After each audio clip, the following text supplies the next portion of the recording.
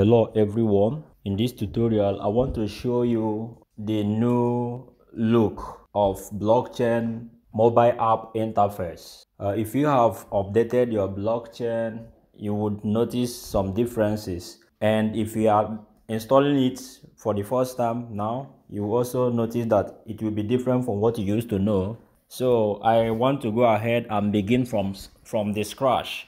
So let's say you don't have this blockchain Bitcoin wallet already. So you have to go to your mobile app store, look for blockchain, this one.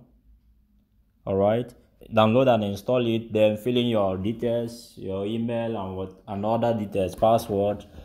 I've already done this, so I'll go ahead and open it. So once you open it, um, you will notice some minor differences if you are already using blockchain before and it just updated or you uninstalled and uh, reinstalled as a matter of fact if you just installed blockchain bitcoin wallet or you just created a blockchain account on mobile then do it to click on this tab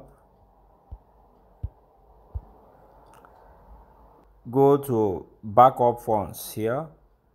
Backup funds you'll be able to write down your 12 phrases 12 uh, word phrases okay? You will need this to recover your funds if anything happens to blockchain or even if you lose your account or whatever you could always use the 12 phrases to head over to any wallet and recover your funds okay? Because blockchain is like a decentralized bitcoin wallet and exchange. So that's very important. You have to do it if you are if you just created this newly if this is a new wallet right?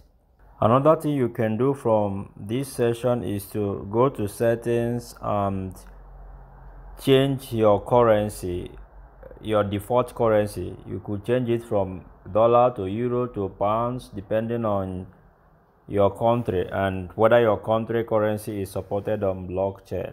Having said this, let's look at the minor differences we have on blockchain mobile app interface. Previously, we used to have the send and the request or receive button here, but they have changed. So some of you may be wondering, how can I send Bitcoin how can i receive bitcoin right? So it's simple. There are two places you can find this. So number one the first place is to click on the cryptocurrency symbol or name like this in this case bitcoin right? If you click on bitcoin you see you will see bitcoin. You will see two bitcoin right? But you are looking at bitcoin wallet balance. Click on it. From here you will see receive send and receive okay? So if you click on send you will be able now to put in the bitcoin wallet address here where you are sending and also put in the dollar value or the bitcoin value and and send right? Um the same is applicable. If you want to receive you want to get your bitcoin wallet address click on the same bitcoin symbol and click on this bitcoin wallet balance and then you see receive right? If you click on receive you will see the barcodes and then your address. So to copy your address just uh, hold press on this and hold.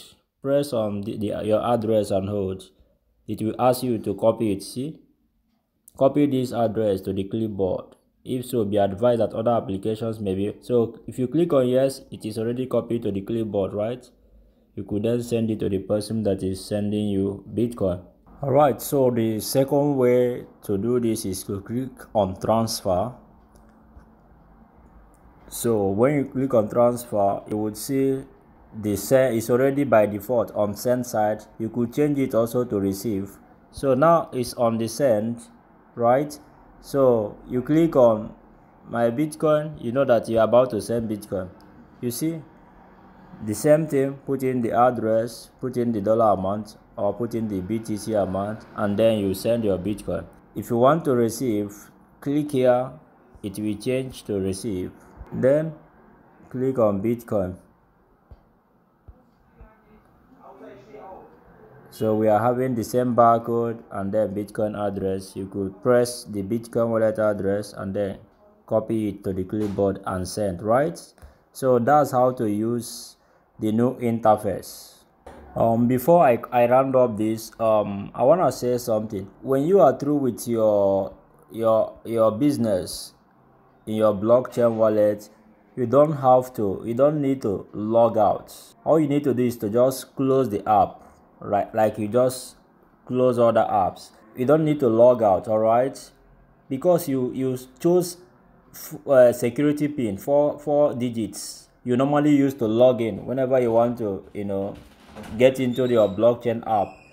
So that one suffices because when you sign out you will need to pay your device to be able to get into your wallet address and you will need to do that through com a computer right? To get back in if you sign out please do not sign out just close your app. If you want to open it you put in the four digit pin and then get back in. All right. Thank you for watching. I hope this was helpful. Bye for now